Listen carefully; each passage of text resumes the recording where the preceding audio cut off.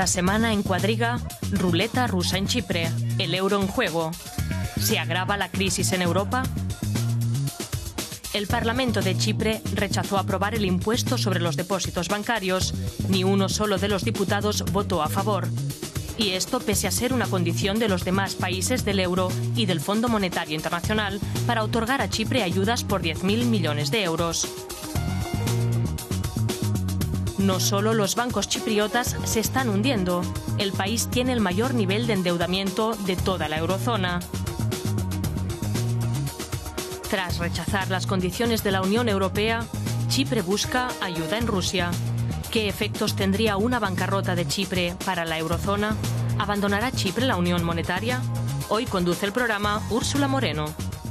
Hola, ¿qué tal? Les doy la más cordial bienvenida a Cuadriga. Pues sí, en Europa muchos creíamos estar a, salvo de corralitos, pero Europa ya tiene su primer corralito. Los bancos chipriotas permanecerán cerrados al menos hasta el martes. Evidentemente, a los habitantes de esta pequeña isla no les gusta, evidentemente se quejan, pero de poco parece servirles porque el país está al borde de la bancarrota.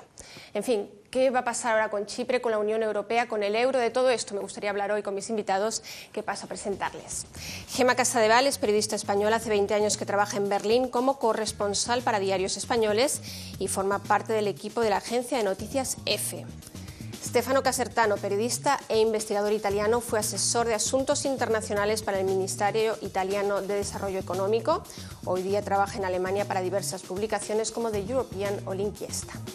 Y Frank Buchwald comenzó su carrera periodística en los noticieros Tagesschau y Tagesthemen hasta que pasó al Heute Journal de la cadena pública ZDF. Fue corresponsal en los Balcanes, África, Oriente Medio, también en Latinoamérica. Actualmente cubre la actualidad política alemana. Bienvenidos a los tres, gracias por estar aquí. Aquí tenemos la tercera economía más pequeña de la Unión Europea que está desafiando realmente a Bruselas. ¿Qué está pasando ahora mismo en Europa? Parece que la Unión Europea se resquebraja, ¿no? Bueno, parece que estamos otra vez empeñados en dar un espectáculo de insensateces acumuladas, de crear padres, de crear criaturas que luego nadie quiere su paternidad, como ese corralito al que has aludido, que de repente nadie sabe dónde ha salido, todo el mundo niega haber tenido nada que ver con eso. Tenemos además un nuevo jefe de Eurogrupo, de nombre difícil de pronunciar, pero vamos a intentar, que es Dieselblum, que no ha sabido en el último instante lo que sí sabía hacer Juncker, que era dar un mensaje de sensatez dentro de, ese cúmulo de cosas que nadie sabe exactamente qué está pasando. Y encima a todo esto, pues eh, la respuesta ha sido que se han desatado todos los tópicos habidos y por haber respecto a lo que ocurre en la, eurozona. ¿no? Alemania impone su ley, Merkel quiere eh, castigar a los países todas estas cosas. Ah, todo eso atribuido a, la campaña electoral de Merkel, etcétera, etcétera. Ha sido todo eso que, que, realmente nadie, o sea, Europa no puede seguir generando ese tipo de noticias y ese tipo de, de, sensación de esto se hunde, nadie sabe por dónde vamos, uno inventa una cosa, otro dice eso no funciona y en medio la población desesperada un panorama un tanto pesimista, pero así están las cosas en este momento. La crisis del euro parece realmente, unos decían, había mainado, pero parece que se ha desatado nuevamente. ¿Qué ha pasado con este Eurogrupo? Los 17 tomaron una decisión que realmente algunos consideran incluso errada de esos 17 mandatarios de la Unión Europea. Eh, ¿Han ido demasiado lejos? ¿Qué piensa el alemán en la ronda? Bien, creo que en la, en la ronda de las 17 todos han concedido estas, estas medidas para, los, para, para Chipre incluido el, gobierno chipriota. Pero ahora, como, claro, un corralito siempre está muy, muy impopular. Y entonces, claro, todo el mundo no quiere nada a ver con esta decisión y los, los, los, los, pobres que eh, al final están los culpables, están los alemanes, ¿no? Pero no es verdad, por supuesto. Pero es cierto que ahora mismo en la Unión Europea, Bruselas y Alemania tienen mucho que decir, también François Hollande en París, pero la sensación que queda es que las decisiones finales o la mayor presión la tiene, por ejemplo, Alemania y Francia, ¿no? Sí, pero entre Alemania y Francia, antes todo fue bastante fácil, pero ahora, eh, con las dificultades que tienen Merkel y Hollande, es muy difícil la, em, el, el, el hielo eh, diplomático entre, entre Alemania y, uh, Francia está bastante, está bastante firme y, y, hay, que, hay que trabajar en esto. Entonces, no está una, una cooperación como fue antiguamente. Enseguida volvemos a ese tema que es muy interesante, pero vamos a intentar explicar un poco al espectador latinoamericano qué significa Chipre. Realmente es el 0,2% nada más del PIB eh, en Europa. ¿Por qué eh, los problemas económicos y financieros de un país tan pequeño generan este revuelo en Europa? Se habla nuevamente de la crisis del euro, de la crisis de la Unión Europea. Expliquemos, expliquemos qué, qué está pasando. ¿Es el efecto contagio, el efecto contagio económico o algo más? Hay dos efectos, en mi opinión. Hay un efecto de contagio económico y un efecto de contagio político. El primero económico es uh, el más cierto, el más aparente. Eh, es como eh, lo que ha sido Islanda para la crisis financiera hace eh, seis años. Y podría ser el empiezo de eh, la crisis final del sistema del euro. Y esto es un problema que en el uh, breve término eh, Alemania y Francia e Italia también, porque Italia va a pagar eh, 750 millones de euros para salvar uh, Cifra, intentan uh, um, afrontar. El aspecto político es que los ciudadanos no aceptan estas soluciones. Em, los, la población de Chipre eh, cree que esa solución es como una eh, privatización completa, de un, completa de, de, un Estado y con todo lo que se puede privatizar, eh, propiedad pública y también la reserva de gas, que es muy importante. Y por esto no eh, creen que hay un futuro planificado para el país y así hay protestas. Lo que va a pasar en Chipre podría ser una prueba general de lo que eh, en los próximos años, los próximos dos años, podría pasar en Italia, en España y eh, ha pasado ya en, en, en, en Grecia, Grecia y, y en Portugal. Pero de todas formas, las protestas que se han generado por parte de la población que ha salido a protestar, el Parlamento ha dicho que no a un plan A, hay un, en, en, conversación un plan B, pero las protestas han generado sobre todo por esa tasa, por ese gravamen sobre los ahorros. Es decir, por primera vez en la Unión Europea se van a tocar los ahorros eh, de los pequeños y de los grandes ahorristas. Eso es lo que ha generado realmente eh, protestas, ¿no? Uh, el primer aspecto es que siempre tiene problemas de transparencia fiscal y eh, parte de los eh, ahorros eh, son los ahorros rusos de personas que no, no pagan impuestos en su país eh, y por esto hay una razón ética muy importante para pedir este dinero eh, desde los, desde ahorros, los ahorros. Hay también un otro problema. Lo, los ahorristas no perciben ser culpables, culpables por, uh, por, lo que ha pasado en el país. Eh, hay una fractura entre la gestión política económica del Estado y la gestión del sistema financiero.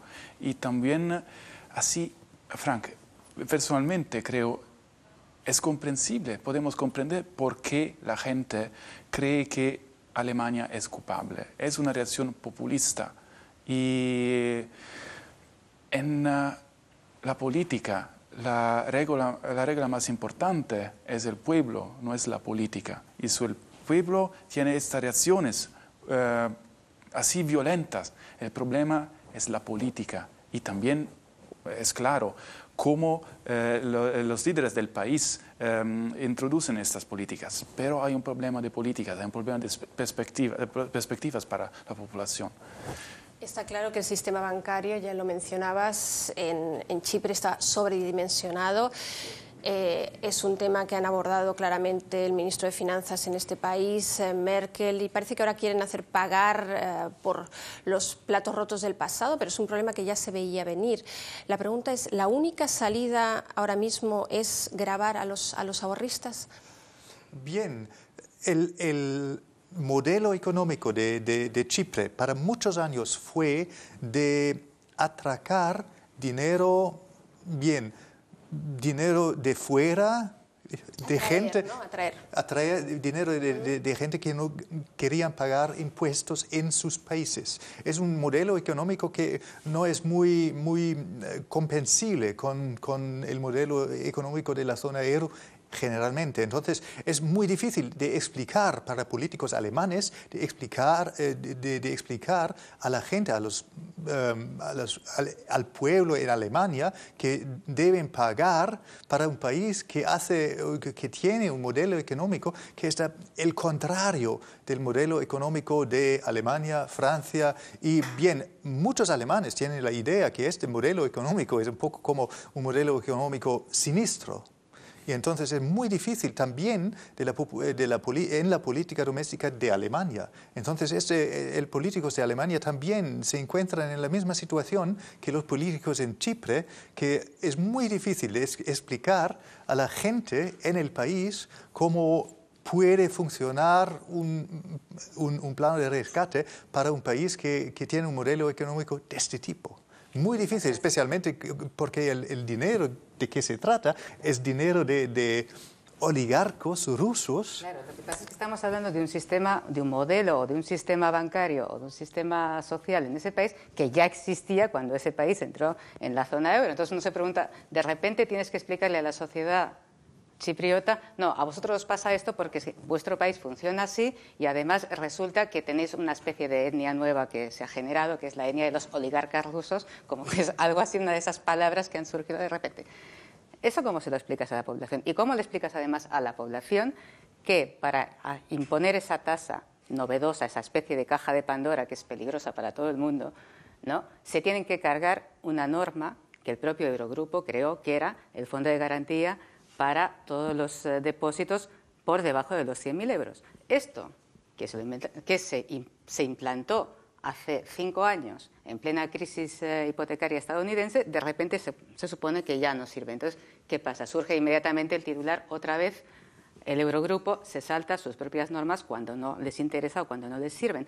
Esto a la ciudadanía no se le puede explicar y tampoco se le puede explicar a la ciudadanía que en una población que son y lo he mirado esta mañana, 789.000 habitantes. Es decir, no llega ni al millón de habitantes. No llega ni al millón de habitantes. Uno se pregunta, bueno, tenemos eso que son 789.000 habitantes. ¿Cuántos de esta gente tiene depósitos? ¿Cuántos hasta esa cantidad? Y eso realmente, eh, ¿qué, qué suma implicaría? O sea, ¿qué se puede generar de esa tasa que abre un precedente peligrosísimo para todo el sistema de la eurozona, para todos los países, para Italia, para España, para cualquiera, que amenaza al pequeño ahorrista que ya bastantes cosas le están pasando, para que venga eso. uno se pregunta, ¿en qué, ¿de qué cabeza ha salido eso? ¿Qué generaría? ¿Para qué se utilizaría ese dinero? ¿Y de qué nos sacaría? O sea, realmente es lo que, un poco esa sensación de, ¿estamos ante insensatos o qué ocurre aquí? ¿no? Y muchos dicen que precisamente esa idea ha salido, entre otras, de la cabeza de Merkel. No lo digo yo, lo dicen muchos analistas, muchos observadores políticos. ¿Ibas a decir algo, Stefan? Creo que es un producto de diversas cabezas y también de cabezas eh, de, que pensaron hace cuatro o cinco años eh, cuando um, eh, Cipre llegó a la zona euro. Es un problema de parámetros de control, porque las dimensiones del sistema financiero de Cipre hace cinco años fuera eh, mil por ciento en comparación eh, con la dimensión de la economía real. Es parecido también a Islanda. Esto no es un parámetro de Maastricht. Maastricht solo quería las deudas eh, no podrían ser más que 3% de la dimensión de las económicas. Es, así esto, hay también creo personalmente una pequeña responsabilidad de los países líderes de la eurozona, porque es como un profesor con un estudiante que hace trucos y después puede pasar su examen. Y el profesor tiene también responsabilidad. No puede decir, sí, pero él quería pasar el examen. Quería así tanto que no podía decirle no. Es lo mismo lo que ha pasado con Cipre. Y ahora tiene tenemos que buscar una solución junta, todos los países europeos. Conjuntamente. Eh, las soluciones las está buscando el gobierno eh, chipriota, tanto en Moscú como en Bruselas. Pero una de las cosas también que no hemos mencionado y que decías que hay que explicar a la población chipriota es por qué, si no se ha hecho con Irlanda, no se ha hecho con Portugal, no se ha hecho con Grecia, ¿Por qué se hace ahora esto con, Chipre? Eso es lo que tampoco entienden los chipriotas. porque son pequeños. Esto no es la sensación que queda y es una sensación esto no lo puedes aplicar, mm, por mal que haya estado España, no lo puedes aplicar a España porque se hunde todo el sistema, no solo el sistema banquero español, sino el de todos sus asociados entre ellos Alemania. Quiero decir, antes cuando decíamos lo de, que tal vez a modo de chiste, lo de si eso había salido de la cabeza de Merkel, yo sinceramente no creo que haya salido de la cabeza de Merkel porque yo aún confío en la inteligencia de Merkel. ¿Y su ministro de Finanzas, Schäuble? Tampoco. O sea, tiene, o sea, esto uno tiende a pensar, sumando todas las piezas de esa especie de puzzle de insensateces, que tal vez es un globo sonda que están mandando. O sea, a ver, si, si aquí tragan, ¿van a tragar otros o qué va a pasar?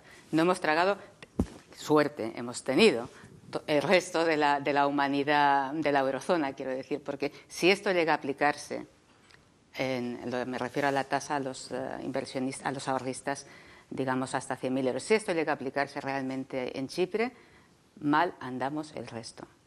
Pero mira, el punto es, si la eurozona quería salvar Chipre, podría hacerlo mañana porque, como tú has dicho, eh, no es muy, muy caro relativamente. de 10.000 millones de euros, que es, lo, que pide, Chipre. Necesita Chipre ahora mismo para afrontar su déficit. En mi opinión, el problema principal es el problema del contagio político. Porque em, en Italia, por ejemplo, eh, el pueblo habla de lo que Argentina e Islanda han hecho con uh, las deudas. No vamos a pagar y ahora estamos todos felices. En Argentina no, no, no, no sé, pero, pero en, Islanda ahora la situación es mejor uh, en comparación a hace cuatro años. Y si Cipro, uh, Cipre va a ser um, rescatada con esta solución, mañana soluciones políticas para Italia, para Grecia, para otros países van a ser menos uh, probables para un problema de contagio político. Claro, o sea, estamos digamos que están de alguna manera jugando a que la, ciudadanía juegue a la insumisión. Y, tal vez es el momento, ¿no? Pero no solo jugar, sino jugar y llevarla adelante en sus últimas, hasta sus últimas consecuencias. También estaba mirando cuando hablábamos del corralito, cómo se puede, cuando lo que tú empezabas explicando, ¿no? o sea, cómo podemos explicar esto a Latinoamérica.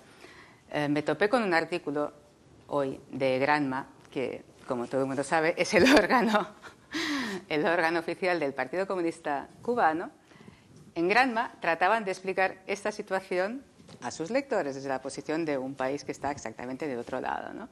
Y era bastante aleccionador porque ni siquiera, ni siquiera tenía el punto ese corrosivo que otras veces tendría Granma hacia, digamos, eh, situaciones de lo que es el mundo capitalista. No, no. Como, como, el enemigo nosotros ya lo tenemos y somos nosotros mismos, ellos no necesitan atacarnos. Simplemente lo describía y empezaba explicando algo así como eh, en principio, mm, los bancos se rigen bajo la premisa, más o menos, de que uno deposita el dinero porque sabe que va a obtener beneficios. Eso es así.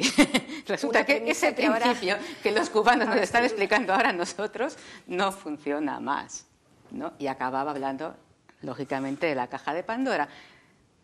Bueno, no podemos seguir hablando de Granma porque ya sabemos que no es un ejemplo para de muchas cosas, pero sí que es ilustrativo de, un poco de, esta especie de, curiosidad que estamos despertando los europeos en el resto del mundo. ¿no? O sea, ¿qué están haciendo esta gente con esas cabezas pensantes, con ese montón de inteligencias que yo, insisto, confío en esas inteligencias? Lo que pasa es que tal vez no llegan a, congeniar entre sí las inteligencias y acaban pasando estas cosas. ¿no? Bueno, y que el sistema financiero está en crisis desde hace años está claro, eh, que Chipre está al borde de la bancarrota es un hecho, por el que estamos de hecho aquí reunidos los, eh, los cuatro. ¿Qué va a pasar ahora? El BCE, el Banco Central Europeo, uno de los tres órganos de la Troika, ha dicho que si hasta el lunes no se ha llegado a un acuerdo, van a cerrar sencillamente el grifo de esas dos líneas crediticias que están ahora mismo supliendo eh, los bancos chipriotas. Es decir, de momento los chipriotas todavía pueden ir a los cajeros automáticos y sacar plata todos los días, pero no pueden hacer transacciones financieras, por ejemplo. ¿Qué va a pasar si el BCE realmente cierra eh, ese grifo? Y Chipre se tiene que declarar en bancarrota. ¿Cuál es el próximo escenario?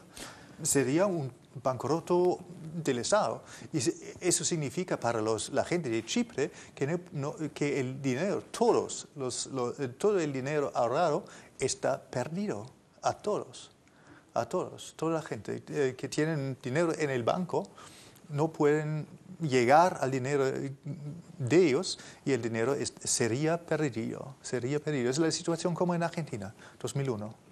Y sin embargo, los chipriotas, como los argentinos entonces con las caceroladas, han salido a las calles a protestar, pero también el Parlamento ha dicho de plano no, os ha abstenido, no ha habido ningún voto a favor de ese plan que les propone Bruselas. eso es una cosa bastante, bastante político, ¿no? porque el, presidente de, de Chipre en en el Consejo de los 17 mm, jefes del Estado de la zona euro ha concedido las medidas y la, la, em, la, idea de la zona euro fue que, los, que la gente que tiene depósitos en el banco tiene que contribuir con 6.800 millones al paquete de rescate. Nadie ha hablado sobre los pequeños ahorrantes que tienen que pagar.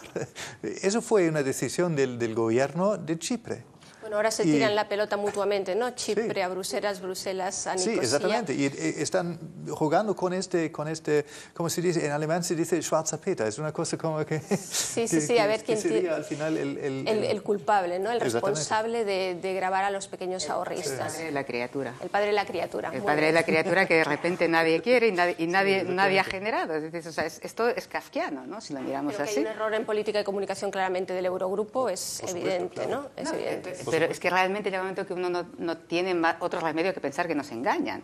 Porque ¿cómo puede sostener ahora mismo, eh, pues, Rajoy, por ejemplo, que él está en contra de esa medida él está en contra porque evidentemente le da tremendo pánico que los españoles piensen que les va a pasar eso, ¿no? Pero no, nosotros hemos estado en contra de eso desde el principio. Bueno, pero tú tenías a tu ministro allí en el Eurogrupo que, y lo mismo Merkel, o sea, no, no, yo siempre he estado en contra. de manera unánime. Estabas allí con Schäuble y Schäuble dijo que sí, o sea, porque fue una, una especie de acuerdo por consenso. Nadie dijo que no. Eso por parte del, del resto de los, de, los, de los socios del Eurogrupo, ¿no?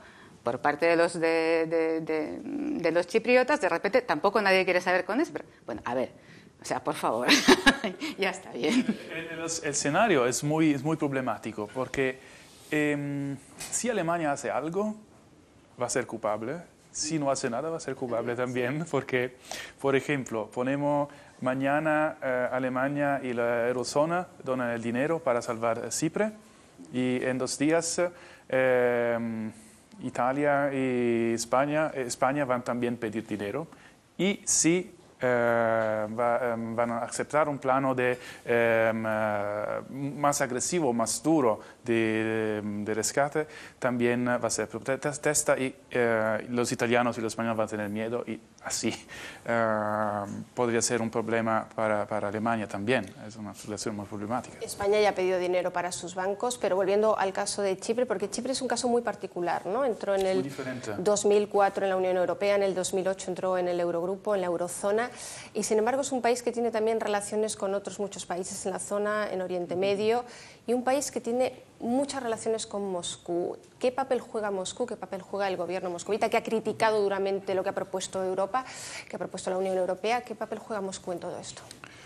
Okay, espero que esta transmisión uh, no, es, uh, no, va a ser uh, en, en, Rusia también. No pero, se ha visto bueno, en no, Rusia. no, no, no, allora. No sé cuánto se entiende en el español allá, pero... No, okay. el programa de español de la televisión rusa. Exactamente. Ok, es toda una broma. ¿eh? Allora, no. eh, es, una, es, un partido geopolítico muy importante porque Chipre tiene reserva de gas. Y esta reserva de gas eh, ha sido descubierta, creo, hace, hace tres años y el año pasado empezaron las primeras negociaciones para los contratos de exploración, también con la compañía de petróleo italiana Eni. Ahora, eh, Gazprom quería eh, tener, comprar una participación en las actividades extractivas y es como una privatización eh, de estilo personalmente definiría africano. So, antes de, de extraer el petróleo, el, el, Estado va a venderlo. Los derechos de extracción. Los derechos de extracción. De algo futuro. De algo futuro, exactamente.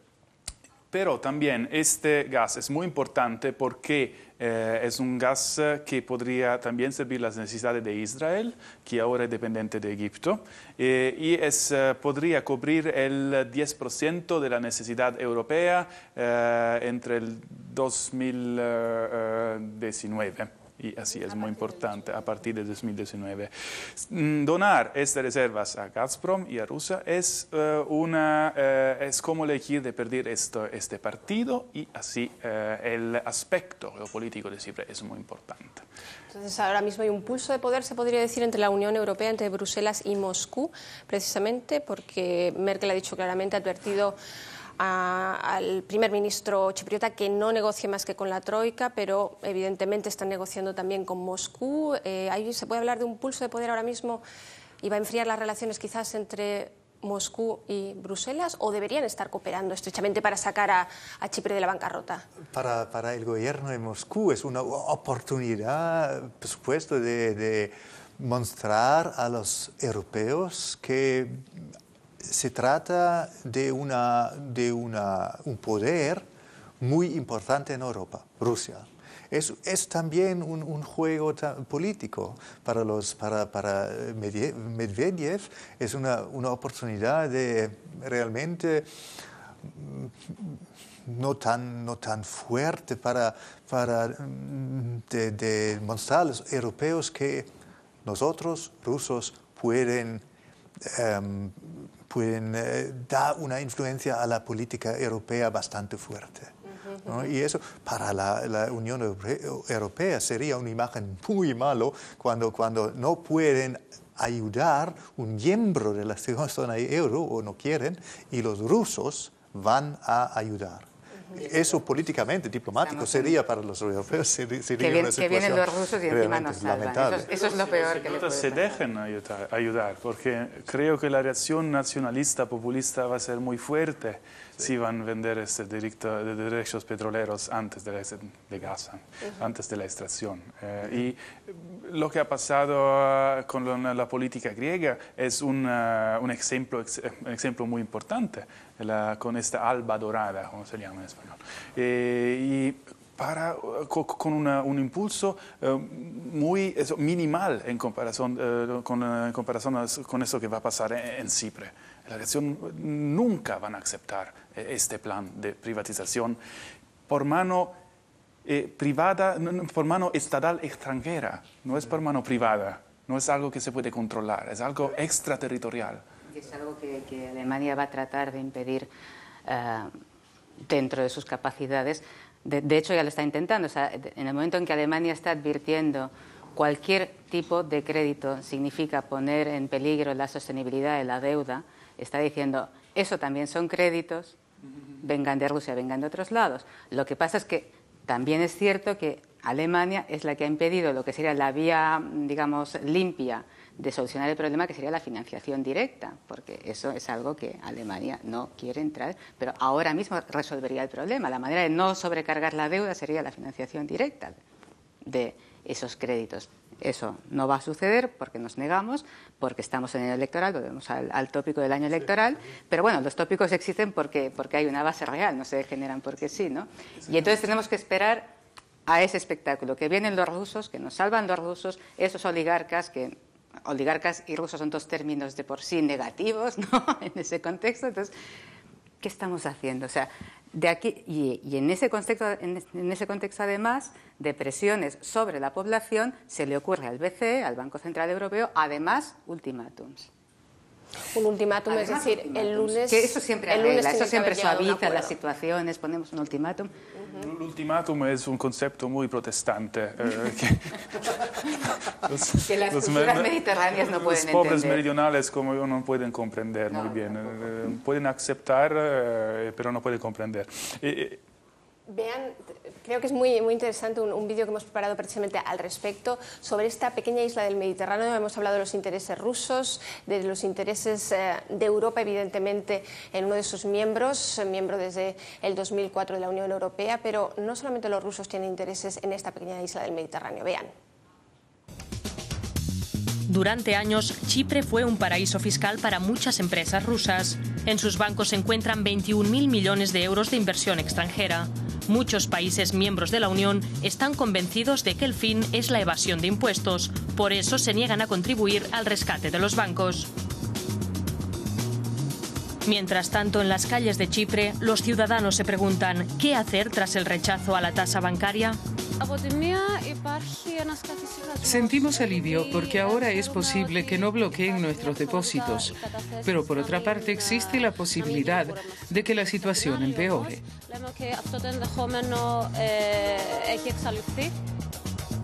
El resto de Europa observa de cerca los sucesos en Chipre. Hasta ahora los depósitos privados estaban garantizados. El tabú se ha roto y muchos temen que Chipre suponga un precedente para otros países. ¿Qué consecuencias podría tener en la eurozona? Claro que se ha roto de alguna manera un, tabú, ¿no? precisamente que los ahorros son de alguna manera sagrados. Los argentinos saben muy bien lo que eso significa. Eh, pero sobre todo también hay un poco la sensación de que hay países más seguros que otros en la Unión Europea. ¿no? ¿Puede producirse ahora, que es lo que se preguntan y, de, algún modo pronostican ya muchos analistas, una fuga de capitales, si es que no se ha producido ya, de los países del sur hacia el norte de Europa? Es decir, ¿sale beneficiada, por ejemplo, Alemania? Bien, eso es el eso es la, perspectiva lo más, lo más terrorizante de, de, la, de, la, Unión Europea, porque también políticamente el discurso de Merkel siempre fue que Europa solamente puede sobrevivir en la competencia internacional en una manera unida. Y ahora estamos en una situación dentro de la Unión Europea que, vamos a tener una, una competencia, una, una, concurrencia entre los miembros de la, de la, de la zona euro y, y, también con influencia de, de, fuera, de, Rusia. Eso políticamente es una situación muy difícil ahora, también, especialmente para los, los alemanes, para el gobierno que está el más en el favor de la unificación de Europa para décadas. Pero ¿dónde queda entonces la Europa de la solidaridad si solamente estamos hablando de competencia? Sí, eso, es el problema, porque solidaridad siempre fue la, idea, la, idea, la, gran ideal de la, de, de la, unificación europea y ahora nosotros encontramos en, una situación contraria, muy difícil políticamente. La solución, creo personalmente, va a ser el interés, no la solidaridad en esta situación, porque eh, vamos a ver lo que ha pasado en este escenario, en esta región griega eh, las infraestructuras más, las, más eh, las infraestructuras griegas más importantes han sido compradas para los chineses, como los puertos, por ejemplo. y los chinos, decir, Los chinos, y después eh, este país era normalmente el referimiento principal para Chipre y ahora no tienen eh, bastante fuerza para ayudarlos. Y ahora tenemos eh, eh, los chinos en el territorio griego y vamos a tener los rusos en el territorio de la isla Cipre. Y esto es como donar, hacer un regalo a países extranjeros y así no va a ser más un discurso de solidaridad, añade elegido, es un discurso de interés donde queremos firmar, arrestar este invasión financiera de otros países. Pero Nicosia, eh, el gobierno de Nicosia, eh, necesita esos 7.000 millones de euros, es un hecho. Y ha tocado a la puerta de Pekín, a la puerta de China, ha tocado a la puerta de Moscú y finalmente ha tenido que tocar a, las puertas, a las puertas de Bruselas. ¿no? Parece que no le queda otro remedio. Es decir, por parte de Moscú, por parte de China, no ha recibido la suficiente ayuda. la esperanza es que sea solamente una estrategia de negociación pedimos a China, pedimos a, Moscú y eh, último, al, final queremos a ustedes. Si, si, si vos no donáis eh, nada, eh, tenemos alternativas. Es una estrategia típica. ¿Realmente hay alternativas a la Unión Europea? Muy difícil, muy, es, muy difícil, porque cada decisión es una decisión muy mala. Y entonces em, creo que la idea de dejar por, el fin de semana dejar un poco de tiempo para a los chipros y también eh, trabajar diplomáticamente muy, muy duro juntos con ellos, eh, buscar una solución para esta crisis con una contribución de los, de, los bien inversionistas, si quieres, en, en, en Chipre sería la única posibilidad que tiene, en mi opinión. Pero hasta ahora parece que todos están arrimando el hombro, hasta el arzobispo ortodoxo ha ofrecido las posesiones de la Iglesia ortodoxa en Chipre para, para, para salvar de alguna manera el Estado. ¿Alguien puede creer realmente que esto es una solución a algo? Es, es, como, como en una familia tradicional, de repente estamos todos agobiados y vendemos las joyas de la abuela. O sea, estamos haciendo eso. Eso no, eso no es una solución sólida para un problema, porque después de este problema de la eurozona surge el siguiente, que es lo que estamos viendo eh, desde que empezamos a ver la crisis de la, eurozona. Al principio eh, hemos adoptado para esta situación terrible que o esa amenaza terrible que tenían los pequeños ahorristas chipriotas, el término corralito, cuando en realidad no es, eh, en rigor no es lo mismo. ¿no? El corralito se impuso eh, durante un año en una situación determinada para tratar de vencer una serie de, de, crisis políticas y económicas. Aquí lo que se ha hecho es otra cosa, aquí lo que se ha hecho es secuestrar esos ahorros. Es decir, eso no ha funcionado, pero si hubiera funcionado, la idea es os secuestramos los ahorros y si los queréis liberar, nos pagáis el 6% ese. Esa era la idea, era un secuestro, ni siquiera era un corralito. Decir, vamos a evitar la, vamos a evitar, digamos, la fuga de capitales, os los, eh, ese dinero se queda aquí para que podamos hacer funcionar la, economía del país otra vez y cuando funcione los... No, no, no, no, no. Aquí se trataba de una extorsión, tal cual. Pasó en Italia en 1992 ah, también. Eh, esta extracción de los ahorros personales. Eh, y el problema principal en Italia fue el problema de confianza. un sistema financiero se basa sobre la confianza de los ahorristas. Y, por siempre esta solución en el breve término podría ser eh, ideal para solucionar los problemas financieros, pero después para construir un nuevo desarrollo económico es catastrofal. No es, ¿Por qué es un problema de confianza? Falta de confianza de repente en un terreno que parecía tan seguro como la eurozona. En los últimos meses parecía que había mainado la tormenta en torno a la crisis del euro y de repente un pequeño país como, como Chipre desencadena todo esto hasta el punto de que el presidente del Eurogrupo de nombre impronunciable decía que la banca, era un, eh, la banca chipriota en este momento era un riesgo sistémico y que había que defender por encima de todo la integridad de la zona euro, pero realmente parece que estamos haciendo todo lo contrario, ¿no? va... Fíjate, sí, volviendo, si nos fijamos un poco más en lo que es Chipre, ¿no? Hasta ahora los, los chipriotas, o sea, eso es la mitad de una isla, para volver a centrar la situación, la mitad de la isla, los chipriotas eran los privilegiados respecto a la otra mitad, que eran los turcos, ¿no? Ahora se invirtieron dos papeles. De repente los privilegiados o, los que están en zona segura son los que están en la parte turca. O sea, que de verdad es que, es que volvemos a lo mismo. O sea, no es muy serio todo esto. Y supongo que todo esto también es terreno abonado en estos momentos para el auge de los populismos, el populismo que hemos visto en las recientes elecciones en Italia. Eh, en Chipre supongo que ahora hay muchos miembros de la Unión Europea que dicen nunca deberíamos haber acogido a Chipre en el seno de la Unión Europea. Deberíamos haber acogido. Entonces, uno se pregunta, ¿no? tú también hablabas al principio del eje franco-alemán. Cuando funciona demasiado bien, no es bueno para los demás, o sea, como fue el caso Mercosur. ¿no? Ahí estaban demasiado unidos, ahora que están tan, tan desunidos tampoco es bueno para los demás. Eh, no sé, tal vez, tal vez es, la, en, España se está generando, estamos viendo un poco en la, en la, prensa española, digamos, incluso la llamada de izquierdas, una cierta nostalgia por los buenos tiempos de los políticos eh, visionarios, de Helmut Kohl, incluso de repente la gente en España habla de Helmut Kohl como, si hubiera sido un ejemplo de solidaridad, como si todo él hubiera sido una especie de fuerza generadora de integración y todo esto, ¿no?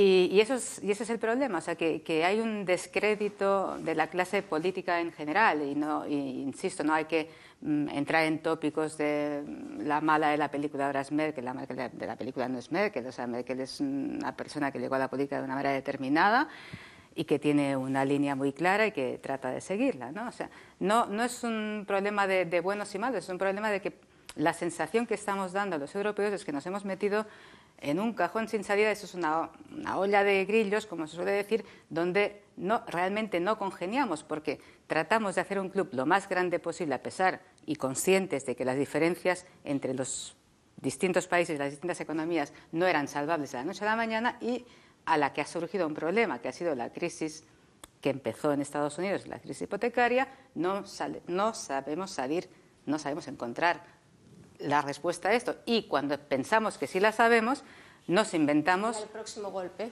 nos inventamos formas de violar nuestras propias normas. Ahora, la norma de, los, eh, de la garantía de depósitos.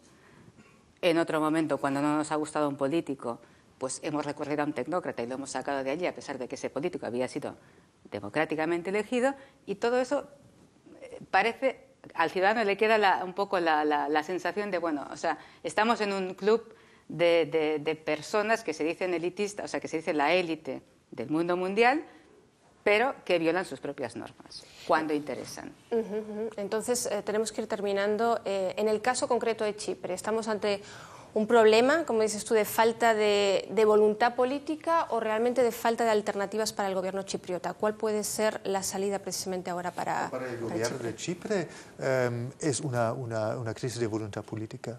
Sí, claro. Es, ¿Solamente por parte de Chipre o también por parte de la Unión Europea? de, la, de la, eh, Unión Europea es, más, es muy, muy, más, eh, muy más, más, más, difícil porque el riesgo sistémico para Europa no es un riesgo sistémico económico, es un eh, riesgo sistémico político porque Europa fue muy privilegiado, eh, privilegiado para muchas décadas eh, y el, modelo económico de, de, Europa un sistema de, sistema de, beneficios muy generosos, un sistema social muy generoso, solamente ha funcionado con deuda pública muy alta.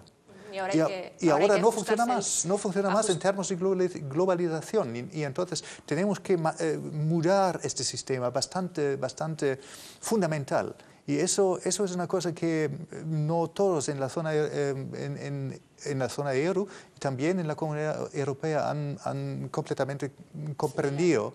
Y eso, eso es la cosa lo más, lo más complicado, porque realmente tenemos que mudar el sistema económico y social de la, de la, de la, de la comunidad europea en la, en, en la, la, era de globalización. Un cambio de sistema, pero solo por parte de, de los países del sur de Europa o también por parte de Bruselas, eh, también del norte de Europa.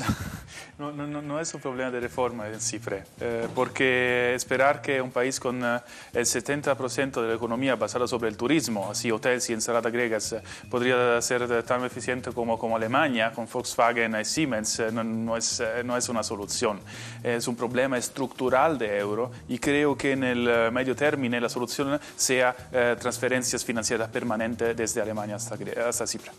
Pues ya ven, la crisis del euro nuevamente en boga y el primer corralito en Europa. Este ha sido nuestro tema hoy en Cuadriga. Escríbanos a cuadriga.dw.de. Gracias por estar ahí y hasta pronto.